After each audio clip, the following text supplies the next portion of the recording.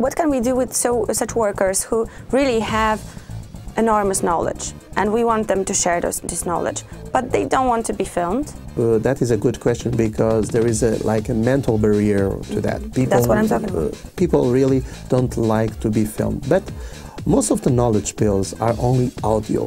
So it's like uh, somebody explaining, for instance, when we are talking about a procedure in a, in a program, in a computer program, uh, you can you can only record the audio.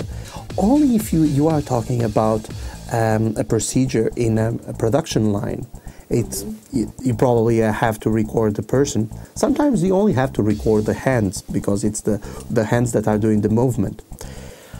But if there are some barriers, uh, even, and if you really need to record the person doing, you have to, in that, motivate uh, your worker and explain. Okay, the thing is that I don't want people bothering you all the time asking how to do something. Mm-hmm. I want you to also to answer to them. It's on already available on video. You see the video.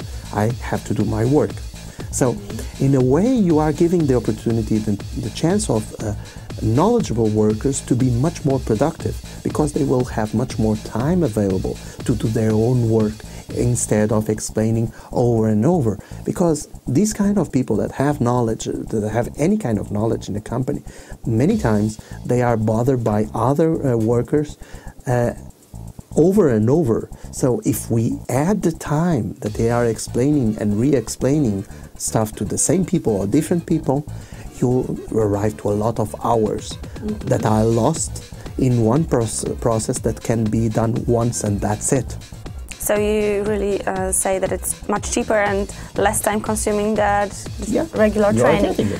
But I think it's got some limitations. I mean, it can be used to some technical issues, to some simple office solutions, like, mm-hmm. for instance, the uh, photocopy or something like that. But it, can, cannot be applied to more complicated programs or ideas or things in a company, procedures in the company? Well, if if I if I would try to to write down how to open and close this pen, okay, so I would do it like this, and I will do it like this, and I will do like this and this and this. For instance, imagine writing this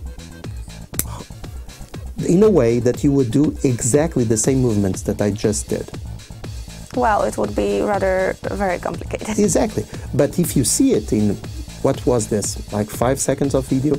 Even less. So it's much more efficient and you can stop, freeze it, do it again, okay? And you can, you can really do it exactly the same way. If I would write it, you wouldn't do it. Yeah, but what I mean is, is that this is a very simple activity. So no, what about imagine the most more imagine, complicated imagine things? this is a part of uh, uh, of um, a production line that you have to put uh, uh, cables and everything, and you have to say, well, the red cable goes there, and you have to put it like this because it's a movement that you have to do it in order to enter correctly. It's much easier than to put it in the manual. The thing is that there is inertia. Have, um, people uh, have been doing it in writing it's the Gutenberg model. So people have been doing that since there is um, printing, because it's the way that that is possible. It was possible, the only way that was possible to transfer knowledge across uh, the world.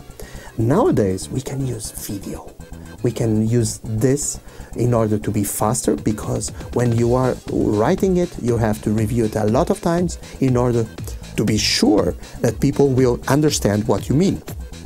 If you only do it in front of a camera and you do it well, it's done. I still some, got some doubts, but in one sentence, how would you convince me to get rid of my doubts and try to use the knowledge pills methodology? I would say that knowledge pills are the natural methodology of learning. Why? Because we are used to explain to each other. Mm-hmm. We are not used to I will do like this. To explain how to, to do something, I will write a manual in order you to read it afterwards. You know, the normal thing, the natural thing, is I will explain to you directly. That's the natural.